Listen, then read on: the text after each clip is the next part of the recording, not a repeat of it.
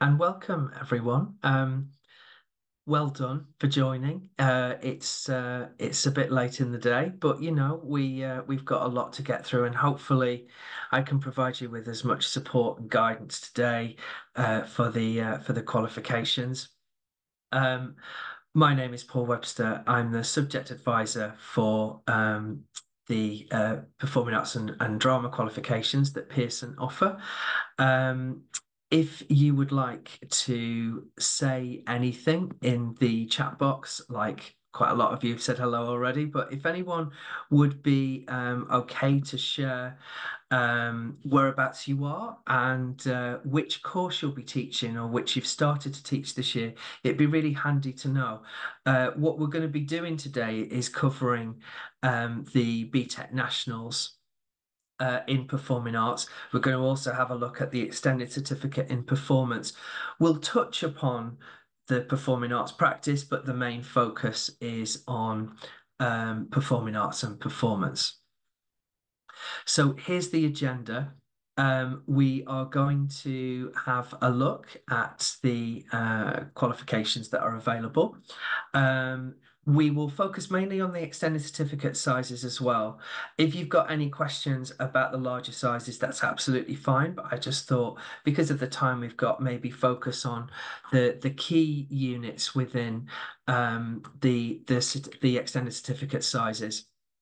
So we'll have a look at structures, we'll have a look at internally assessed units and how they work, and externally uh, assessed units um, there will be the opportunity for you to ask questions throughout this session. Um, so please feel free to, as Nash said, you can put your hand up, you can write something in the chat, and uh, I can invite you to come on and uh, and speak if you like.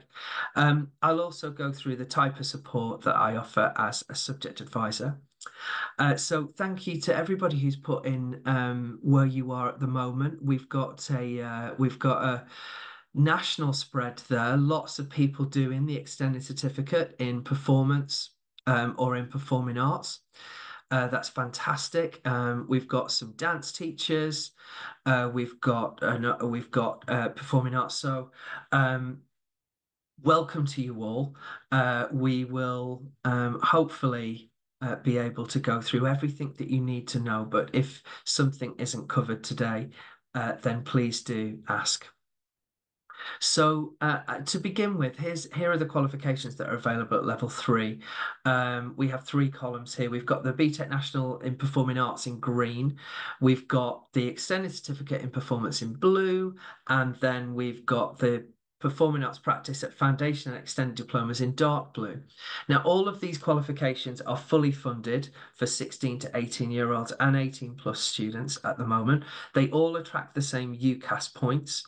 Um, on the table, um, you can see uh, that just the BTEC Nationals in Performing Arts are included in Key Stage 5 performance measures. So if you are running the extended certificate in performance, it's worth noting that it's that that qualification is not included in performance measures. So if you need to, if you're run, if you're starting to run it and you want to check, I would I would speak to your SLT about whether or not the qualification does need to be on performance measures or not.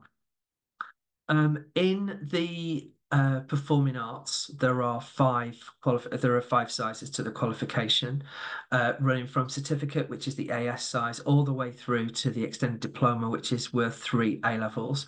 There's just the one uh, size in the extended certificate in, in performance, which is the size of an A level, and then in performing arts practice, there's the one and a half A level foundation diploma and the extended diploma, which is three A levels. Uh, the Nationals in Performing Arts and the Extended Certificate both have external assessment, whereas Performing Arts Practice doesn't. Now, we also have a production arts practice course as well. So if you do have any students who wish to study production design, technical theatre, stage management, we do have two sizes there as well. Uh, and if you want any information on production arts, then um, please feel free to, to let me know. There might not be time today. If there is, then brilliant. But if there's no time to go through it today, um, then we can arrange another meeting and talk about it. Now, I'm sure that you're aware that there are level three reforms taking place and that these changes were implemented by the previous government.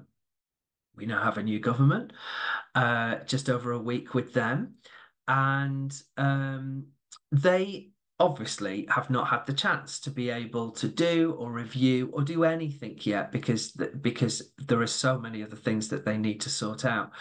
Um, so as it currently stands, all of the performing arts courses that we have available that we've just looked at are available for registrations until 2025.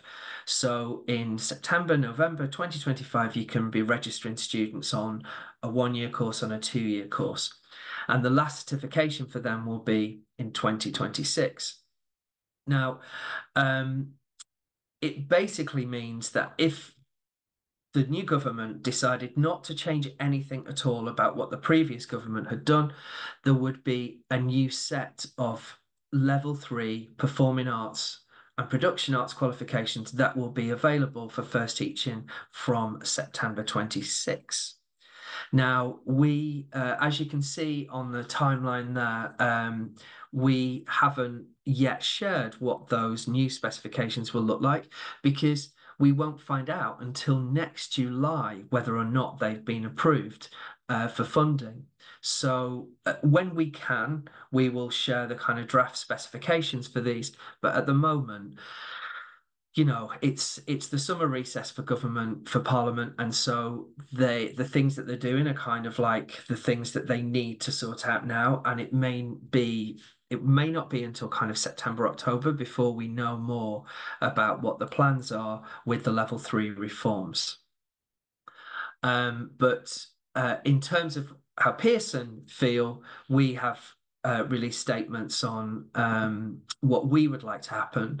So you know, we we run the the biggest selection of and and of performing arts and production arts qualifications, and we've made it feel uh, made it clear how we feel about the reforms and that students should have access to high quali quali uh, quality uh, qualifications. So, um, yeah, we await further uh, information from from the new government about what will happen. So for the moment, we have the ones that uh, that you are aware of, and so let's go into a bit of a deep dive now with what they are and what they can do. Um, the first thing to say is that these are the this is the qualification qualification structure for the different courses in performing arts and performance. Uh, if you've seen the specification, then you'll be very aware of this. But I just wanted to draw your attention to um, what this shows that um, there is there are endorsed pathways first of all. So an endorsed pathway means that um, the student who takes it can focus just in that particular discipline. So we have kind of three key disciplines, which are dance and musical theatre and acting. So if a student is registered on the extended certificate in performance, it's an endorsed pathway. And the same for the extended diploma in performing arts. They're also endorsed pathways. What that means is, is that when a student gets their qualification, they get their certificate, it will state on it performing arts brackets dance performance brackets musical theatre. So in terms of progression to um, further training to HE for employment, it will be very clear that the student has um, focused in the qualification in a specific discipline. Um, so the performing arts qualifications are nested, meaning that the qualifications sit within each other. So like a kind of Russian doll where you would have uh, the extended diploma as the largest size qualification set within that the diploma the foundation diploma etc so all of the units are included in the larger sizes and one benefit of doing this is that if you are running uh, a qualification over two years, so say for example you were running the extended certificate in performing arts over two years, it might mean that you want to run units one and two in year one, in year 12, uh, which would allow any student who wanted to drop out at the end of year one to claim a certificate, the certificate in performing arts. So um, there are lots of centres who run these qualifications who do this. So they might run the extended diploma over two years, but they would have all the foundation diploma units in year one in year 12 meaning again that the students would be able to complete the course and get a qualification um, after just one year um, so this is the second list. So this shows uh, all of the optional units and a couple of mandatory ones there, um, especially for um, uh, musical theatre. I don't know whether the image has just disappeared from your screen. It seems to have gone from mine. I will try to retrieve that now. Um, apologies for that my computer's going uh, crazy today. I think it's because of the football result yesterday. So hopefully you can see that again. Hopefully that's back on your screen. Uh, please let me know if you can't see it, um, but let's assume that you can. So what we have here is the structure of the extended certificate in performing arts. Uh, this is the A-level size. There are four units. There, um, three of them are mandatory. Two of them are externally assessed, and one is an optional one that you can choose.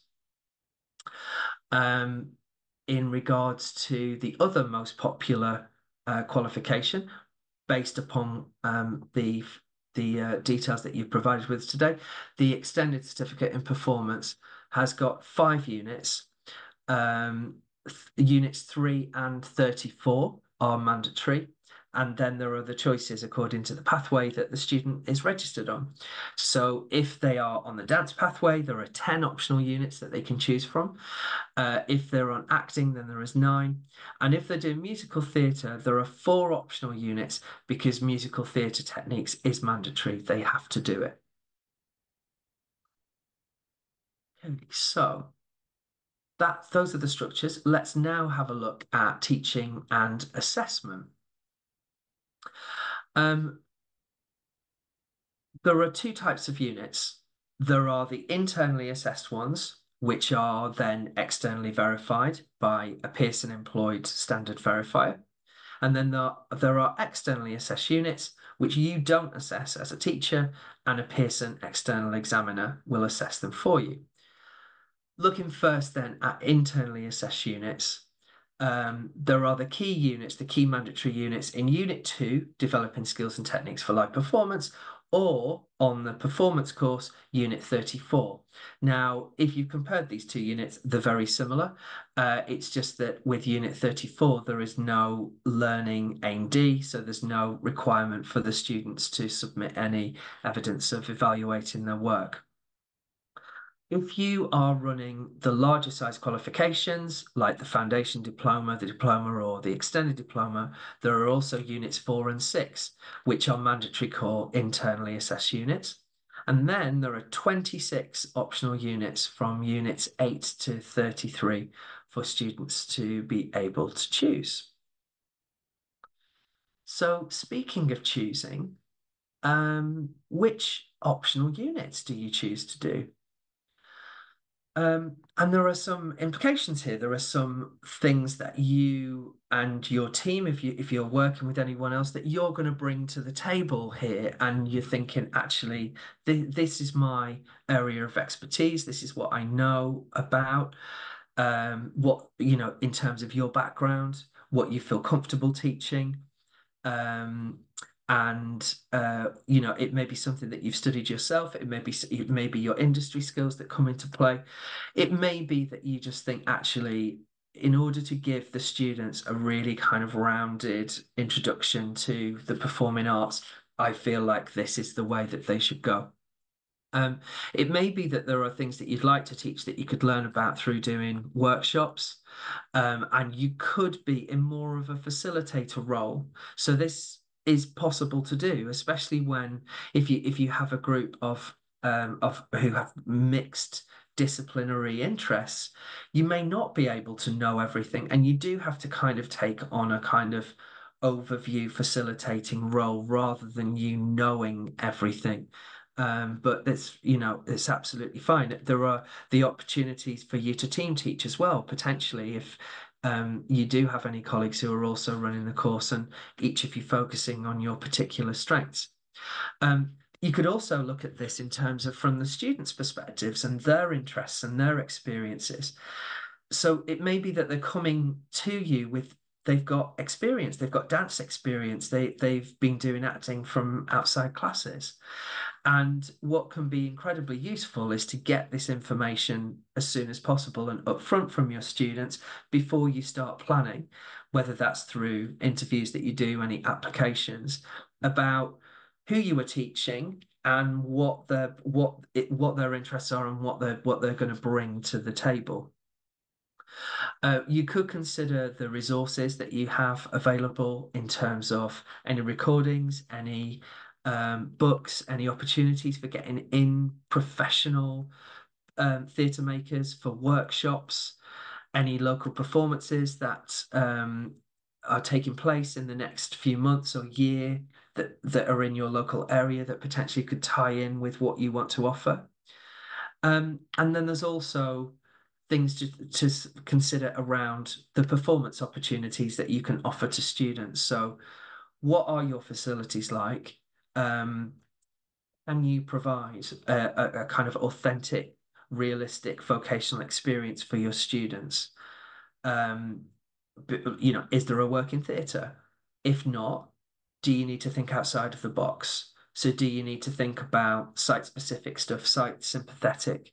There's different things that you consider hiring local spaces working with local groups and and um, being able to give your students a really varied and mixed um, approach to uh, their study. So it may be that if anybody has any ideas then please feel free to put them um, into the chat about how you've decided what optional units you're going to run um, and um, yeah, it'd be great to hear what what um, how you've decided, or are you still in the process of deciding, and you wouldn't mind some uh, some further guidance from anybody here. Um, now, in terms of the teaching and assessing of internally assessed units, that would be uh, useful to go through what you need in order to to do this. So there are five areas here that we're gonna that we're gonna look at, and they're not necessarily in this order. It may be that the centre standardization materials moves up and down, but basically this is going to be the process that you will that you will follow. Um, now, if you are running, if you're doing any external units, please note that you don't have to do any of these things for the uh, for the external units. So these are just for internal um, units only. So let's begin first of all with the assessment plan. Now, the purpose of this is um, it's it's either going to be for one year or it's going to be for two years, depending on how long you're running the course. But it's plotting out what um, is required and when it needs to be done by. So it covers all elements of the process from your perspective and from the internal verifier's perspective. Now, you may ask at this point, I know what an assessor is. What is an internal verifier? Well, it's someone in your centre or maybe outside your centre who isn't employed by us and but they basically administer and oversee the quality assurance processes. So basically when it comes down to it, does the student know what they've got to do? Do they have all the information they need to do it? Are they being given a fair and comparable experience to any other student anywhere else. So, do they know what the handing dates are? Do they know what they're being assessed with? It's all of these things, like kind of really key fundamental elements of ensuring that the student gets a good experience. So, the assessment plan is a working document and it can and it probably will change through the course. So, deadlines might need to move because you just can't do it when you wanted to do it. Students are off, things fell through, etc. Unit order might change. All of it is fine. It's a working document, and don't feel that you might write this now for the to cover the next two years. And then you get to December and already things just aren't working in the way that you thought. Things have just happened beyond your control. You just do a, a, the next version of the assessment plan. You just do version two. It's absolutely fine. So um, this, what you can see on the screen is a template that we have on our website and I will give you the link uh, that you can have a look. And actually in the resources uh, here, um, I've put in a PDF version of these slides. So as we go through, uh, there are little blue boxes that you can click that will take you directly to the uh, the relevant section of our website. So as you can see on the screen, I just did a little example there for Unit 34, developing skills and techniques. Uh, the assignment is Hip Hop You Don't Stop. It's assessing the three learning aims for this uh, unit. The 1st of September is the internal verification assignment brief um, date. Uh, the It's given out to students on the 10th of September. The hand-in date is the 2nd of April, so it's quite a substantial assignment that they're doing here.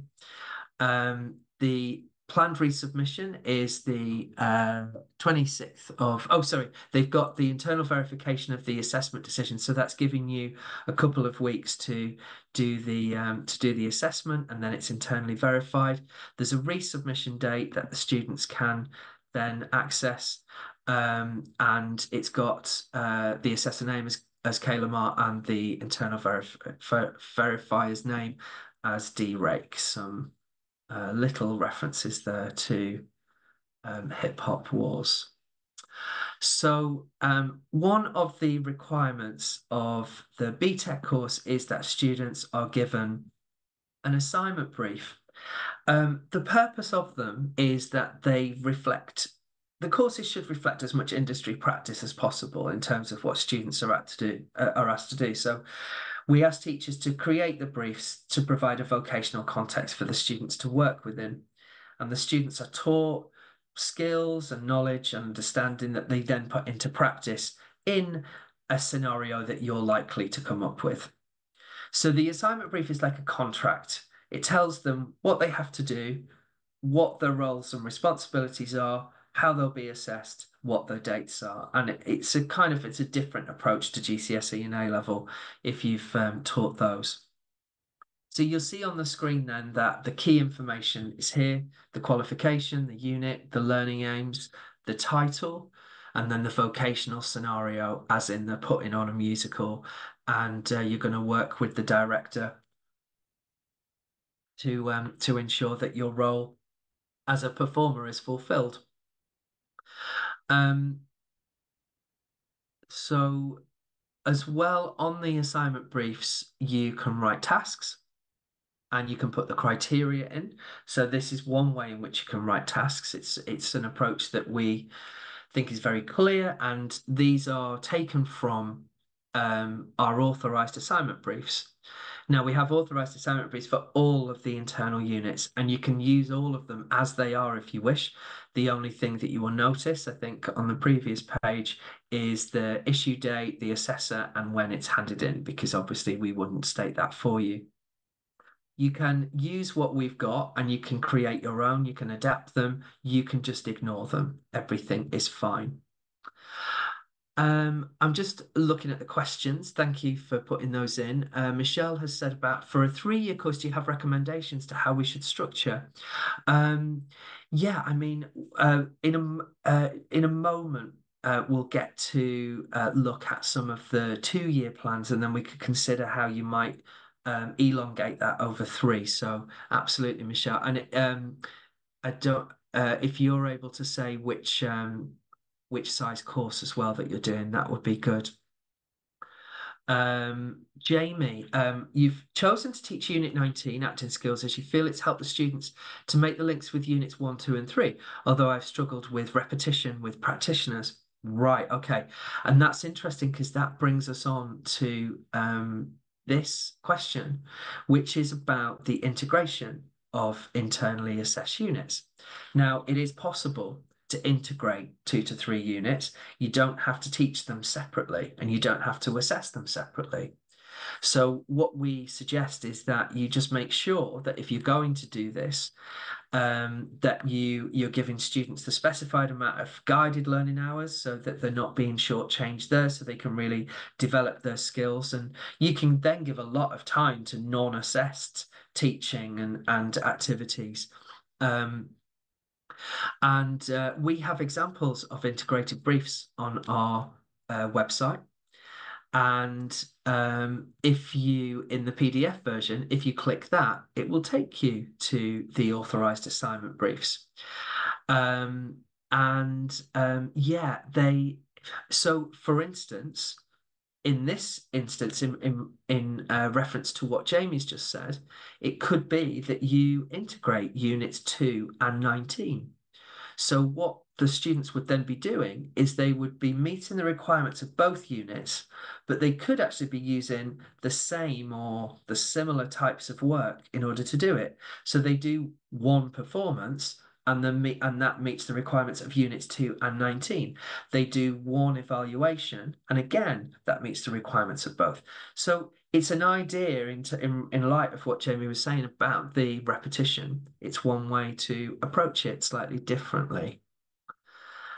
Um, Rebecca, hello. You've said you're on your own doing BTEC and that you um, are uh, far away from another centre. Um, and is it okay for your SLT line manager to go on an IV course to uh, internally verify the units? Absolutely. Yeah, it's absolutely fine. Um, and what you can do is um, you can you can both have a look at the um, the centre standardization materials that we release each year so that you're both referring to them and you're both looking at them and then that's going to kind of give you um, a sense of uh, parity.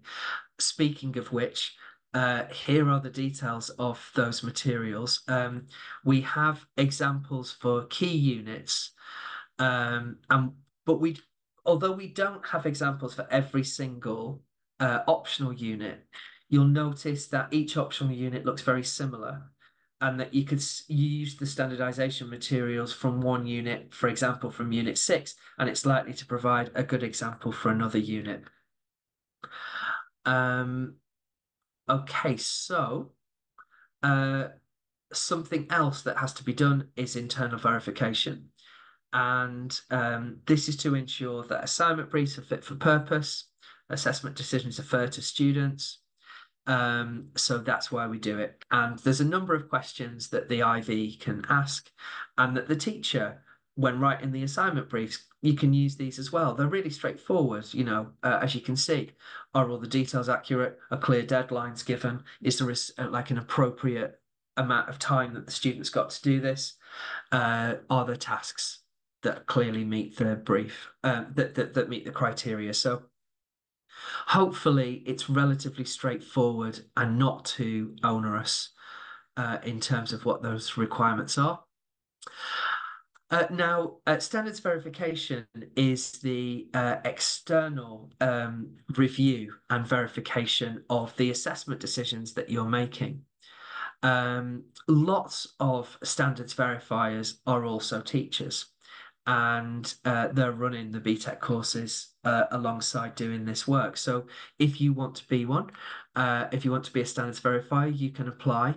Um, it might be good to get a year of teaching under your belt, but if you're joining us ha having done uh, a full academic year, then maybe that's something you might be interested in. Uh, the link is on the uh, PowerPoint. Um, so standards verification takes place every year. Um, between January and May. And the SV will look at assignment briefs, internal verification, the evidence that the student has produced, uh, the feedback that you gave to them. Um, so it's pretty straightforward, really. It's it's what you'd expect, and um, the sample size is the number of students is quite is quite low. So uh, you don't have to submit them all unless there's not many in the group. Um, you don't need to reinvent the wheel. We've got lots of forms and guidance you can use uh, for all of the templates. And again, the link is there for you to use them. Uh, we have lots of really useful guidance documents as well. So these are on uh, everything from um, internal assessment, standards verification, internal verification, how to write assignments, lots of uh, useful guidance there. And here is a question which is uh, very similar to uh, Rebecca's, which is around that you're the only person who's doing it. And I mean, in this instance, this is actually a, a real question that came into me recently about there is no one else in the centre who is doing it. So if you are in that situation, um, we would encourage you to link up with another centre who can support you. They don't need to be local. It could be um, you're doing this, you have this relationship uh, remotely, um, and if this isn't an option, then someone within your centre um, would need to internally verify the decisions. And you just, as I said before, you could kind of just share with them the centre support materials so that they feel confident with what they're doing. Okay, um, that's internal assessment. Are there any other questions that anyone would like to ask before we move on to external assessment?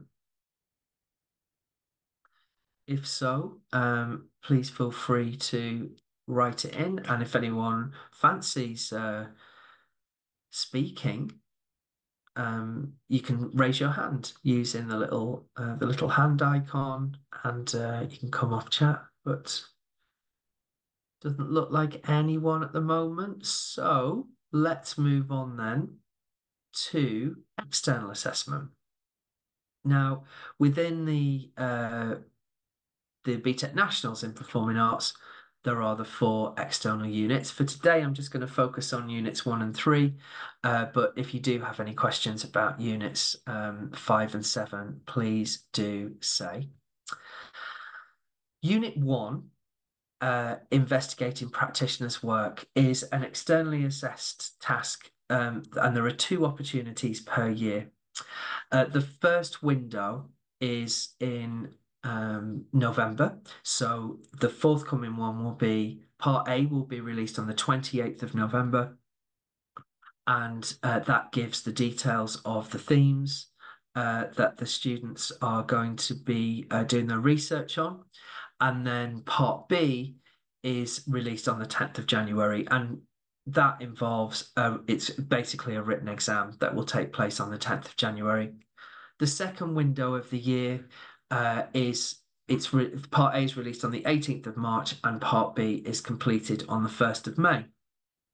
So if a student is registered on an ex um, the extended certificate in performing arts, for example, that over a two-year course, they would have four opportunities to complete uh, Unit 1. So part A is uh, when they are then they then have four weeks to do the research and create their notes. It's usually longer than that because there's usually some kind of holiday involved, but it's um, that it's it it is actually four weeks of of uh, term time that the students have. Um, part B, written exam under control conditions. There are three activities, like three questions that the students are uh, responding to, and students do are able to to retake uh, unit one more than once. Um, so depending on how they do, uh, there may be an opportunity later on in the either the year or the course to do unit one again. Um, so from uh, previous exam series, just collated this just to show you that these are some of the more popular practitioner choices for unit one. Uh, you can see there's a dazzling array. There are different types of work um, and what kind of uh, works in the favor of all of these that we can see on the screen is that there there's recorded material available and there's a lot of uh, research that students can do as well into the work. So because we we provide a list um, and um, students have to choose two practitioners. So the list that's in the specification, they have to choose one of those. And then the second practitioner, they can choose someone either who's on the list or who isn't on the list. The list is certainly not exhaustive, and there are lots of brilliant practitioners who students could choose to look at. Um, our advice is that uh, if there's no, if there's nothing much available in terms of interviews, articles, anything about the about the particular practitioner, then it might make it quite difficult for the students to do any research. So if there's no if there's hardly any work that they can see, there's nothing recorded, there's nothing they can see live, again, it's worth avoiding them in the context of this unit, this unit, not in other units, but in this particular one. Um, if they don't have an international recognition and established reputation and presence, again, worth looking at. Uh, not worth looking at in the context of this unit. Um, avoid film directors, avoid playwrights, avoid dancers or singers, unless they are also, as we can see on that list on the left, unless they're also someone like um, Steven Berkoff, who is actually um, a performer, a writer, a director as well. Uh, so, Laura, in answer to your question, yes, you can choose practitioners who are off this list for the second practitioner. Um, okay, lovely. Um, so, some examples of work uh, that you could consider would be um, uh, have done really well in the past. Hamilton, uh, Love Song, Metamorphosis, Ghost Dances, um, Blak, Whyte, Gray, Revelations, uh, Things I Know to Be True. Like there's there's quite a few uh, kind of go-to ones that are really good, and you can um, get more details of those in our sample work and also in the lead examiner reports a question here about how many productions that students should watch and how many times a student can retake.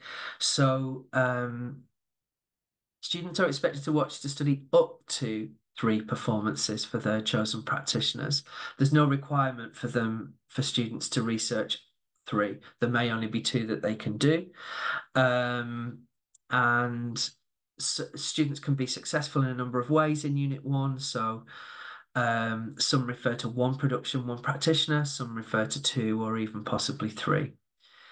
Um, some students uh, focus on one extended extract from one production, others use several extracts from, from one or even several productions. So there's not just one set way to do it. Um, there are three opportunities to complete component one, the first attempt, and then two resits.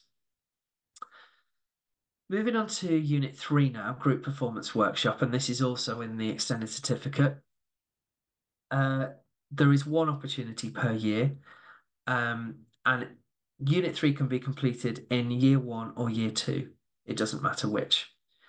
The task, the next task will be released on the 6th of January 2025, and it will be submitted to us by the 7th of May. Students work in groups of three to seven they have 40 hours to develop their work, to rehearse and develop it. They have five hours to complete four written milestones and the performance. So, in other words, like through that 40 hour process, you can decide when they should uh, write up their their milestones. So there are four activities which kind of chart the progress through. So one at the beginning, two in the middle, and then a final evaluative one. The performance should be between 10 to 20 minutes. Now, there are resources that you can have a look at uh, for units one and three. We've got past papers and mark schemes. Um, and this course has been running since 2016, so there's quite a few of those now that are um, that you can have a look at.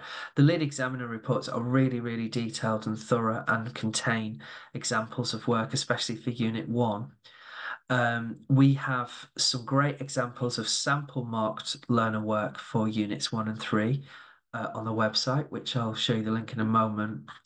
Um, there are lots of free education packs and links um, that professional theatre makers and performers now produce that are available on their websites that you don't need to pay for. Uh, if any of you have found any of these and you want to share the details, um, then uh, please put the details into the chat if there's anything that's a go-to for you. So it might be Zoo Nation, for example, who produce incredible packs for free. Um, there's also, uh, as a resource, is the exam timetable. It's really important that you know when these things are happening. Um, Jamie has asked, what can you do if you only have two candidates? Can they still complete Unit 3?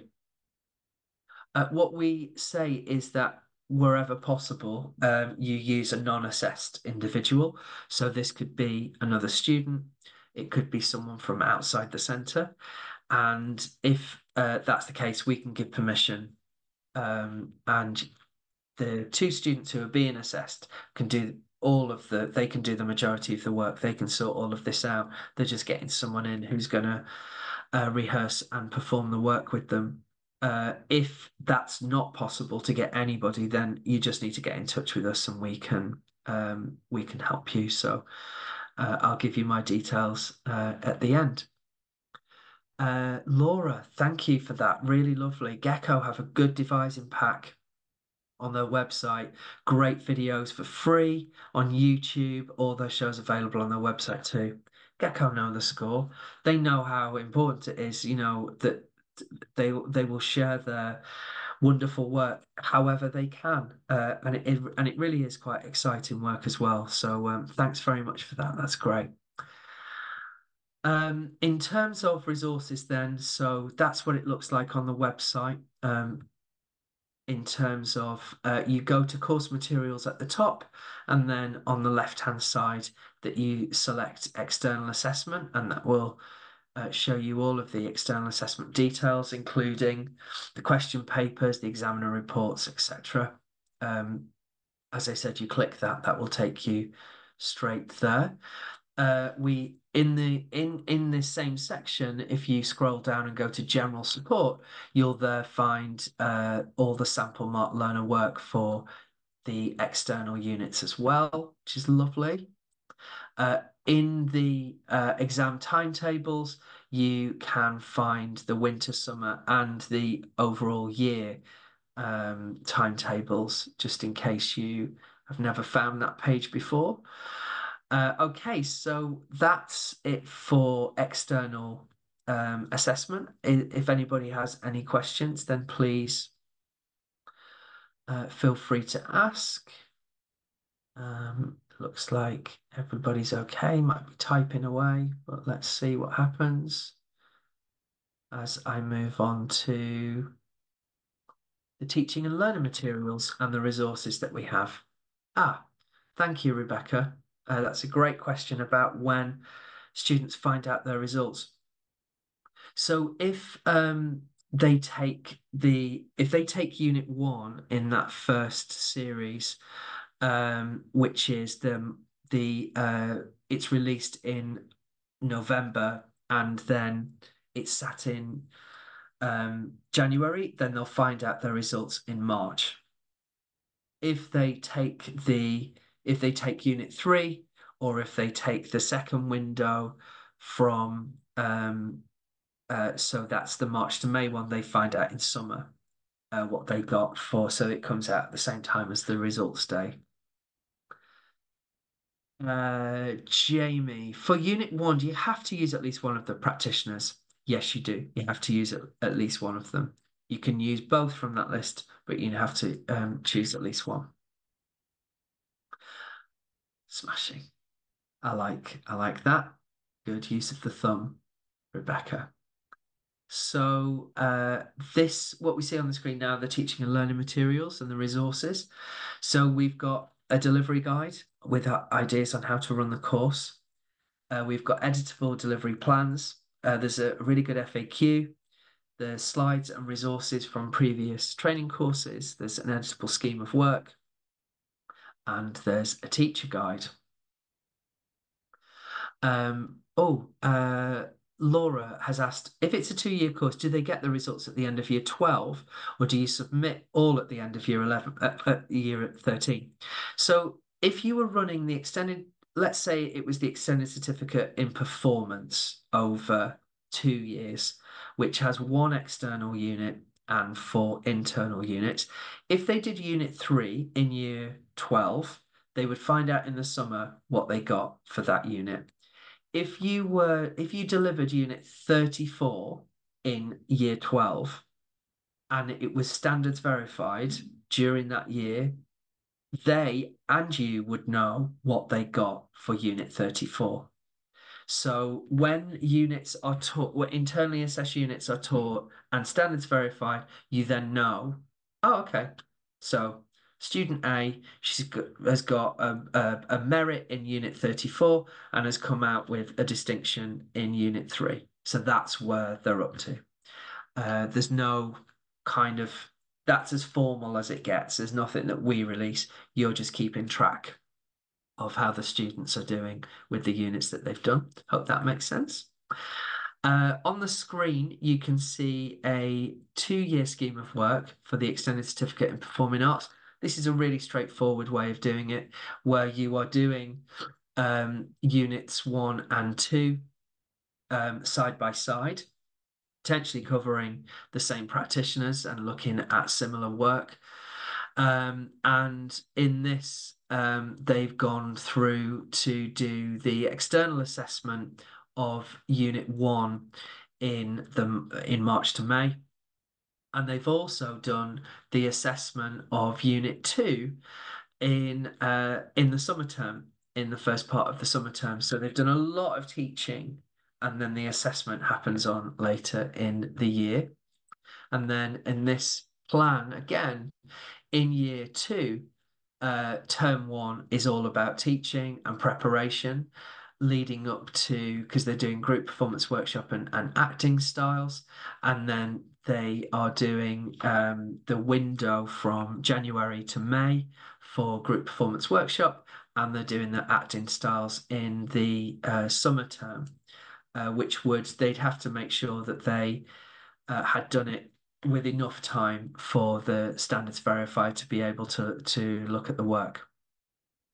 But using this model, uh, it's what I was referring to before. By doing units one and two, in year 12, it means that they can, for those students who don't want to carry on, they could transfer them onto the certificate course, claim certification in summer, and then those that want to carry on can do these qualification, these uh, the other two units as well to get the final qualification. Um, in this example, uh, this is for the extended certificate in in performance in dance, and in year one, in year uh, in the first year, there are there are three units being covered. Units 34, 10, and 14. There is the opportunity there um, to do an integrated assignment with Unit 34 and Unit 10, or Unit 10 and Unit 14. So it, you know, and also uh, some of these um, could be pushed back as well, so that Unit 34 doesn't have assessment in uh, the first term, and then Units 34 and 10 are done together in the second term. So some choices there.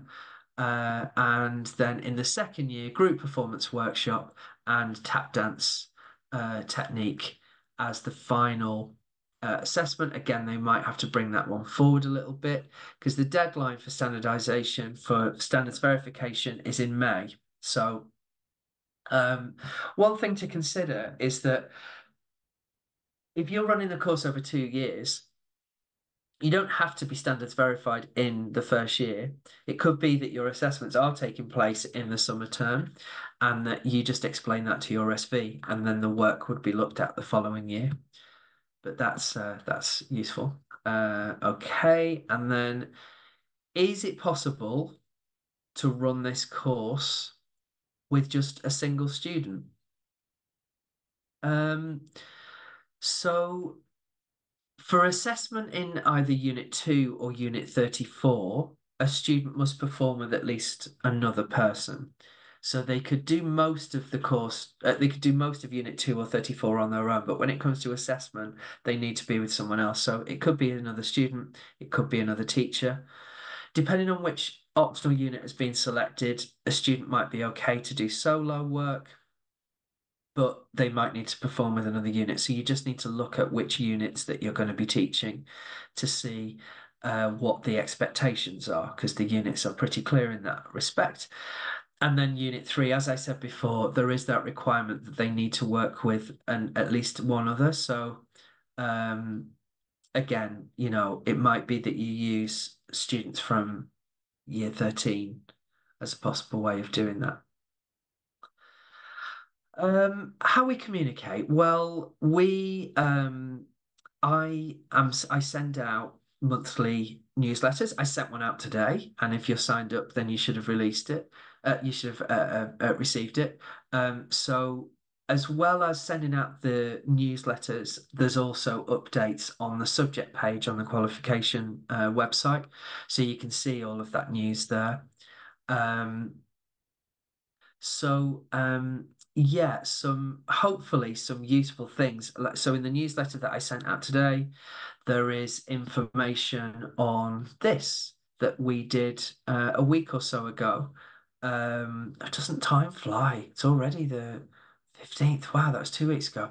So um, had uh, the pleasure of working with two incredible people from Beyond the Canon um, who uh, provide guidance and support to teachers and young people in terms of working with global majority artists, of um, empowerment, of artist activism. There's loads of stuff that they uh, focus and do. So uh, there is a recording of it. Uh, it's just over an hour long. There's lots of great ideas there. So if you are interested, you could have a look at that.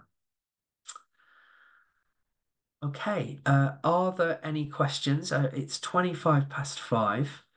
Uh, is there anything else that anyone would like to talk about? Are there resources uh, that you would recommend? Um, anything else that you need to know? Uh, please say. Whilst you're having a think, I will show you my contact details. Um, you can email me at teachingperformingarts at pearson.com. Uh, you can book an appointment with me. So these are 15 minute one to one appointments through Teams, and we can chat about anything you like. Well, obviously within reason. Uh, I'm happy to talk about other things that aren't teaching related uh, just let me know uh, so I can prepare. Uh, there's the subject advisor updates, uh, and you can sign up as well if you aren't receiving them. Um, and we also have a communities page as well. We have a Facebook page, which you may be aware of, the BTEC Performing Arts Sharing Best Practice page, and that's got lots of useful hints and tips and guidance on there as well. Um, so Laura, you have asked about um, where you can find the documents. Uh, so we went through that. If I just go back here, um, we will find the, just whizzing back. So these are the forms. This is the paperwork that we were talking about. So it's on um, page 22 it's not if it it it doesn't have to be paperwork heavy. It can be if if you decide to make it paperwork heavy. Uh, uh, uh if you you can do the same with anything really i suppose. You it doesn't have to be it can be relatively straightforward. If you use our assignment briefs they're done. If you use our iv forms hey, it's all there. You know it's it depends on how many students you have and it depends on how many assessments you've got to do. But if you decide to integrate assignments, for example, you get in, you, you're having to do half the paperwork. So uh, there are pros and cons to uh, various approaches, but hopefully that's clarified with that where you can find those. Um, smashing. Uh, Brian, will there be a specific Unit 3 training course? Um, Now, because of the rules, because of the Ofqual rules around external assessment, we can do retrospective kind of feedback and guidance, but we can't run after the first assessment has taken place. We can't then run specific training events for external units. I know it's it's um, slightly strange, but this is the situation that we find ourselves in. Uh, so what we have to do is rely upon the lead examiner reports, rely upon the samples of uh, marked work, and um, get in touch with me uh, because unfortunately we, we can't run uh, the events. Uh, Jamie has asked uh, about catching up and working with each other. Fantastic. If anybody wants to, please do. You can, if you want to put your, um, if you want to put your, um, what are they called? Email addresses into the chat. Um, the this will be recorded, but you won't be able to see the chat. So if anyone wants to do that now, that's absolutely fine. Uh, you can also go onto the Facebook page and you can put your details on there if anybody doesn't want to share. Um, Brian, there is no Showstopper Award this year, unfortunately. I really hope that next year there will be. Um, we will see what happens. Uh, we'll keep you updated on that. Um, oh, lovely. Everybody's looks like they're sharing their details. Fantastic. Well done, everyone. Um, ah, yeah, well, Brian, as soon as we know, I will let you know. No worries. Uh, because it's a wonderful thing, and uh, it would be great if we were able to get back to doing them as well. Um, okay, so I think we have reached the end. It's 29 minutes past. Look at this for time, and it's extraordinary. It's like I've done this before. Uh, thank you to all of you for joining. I hope that it's been useful. Um, it's been a pleasure as always. Please do feel free to get in touch if you need anything. Um, but for now, let's leave it there. Enjoy your summer break. Uh, have a wonderful time. Rest, relax, come back refreshed uh, in a few weeks. And uh, yeah, thanks for joining.